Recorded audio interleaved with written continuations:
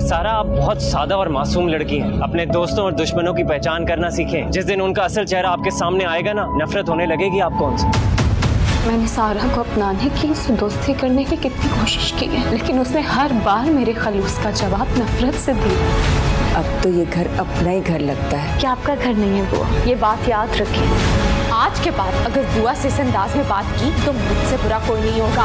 SM की properties और bank balance पर नज़र रखने के लिए मेरा ऑफ़िस ज्वाइन करना बहुत ज़रूरी है। ये मेरे बाप को ट्रैप करके बेवकूफ़ बनाकर इस घर में आई।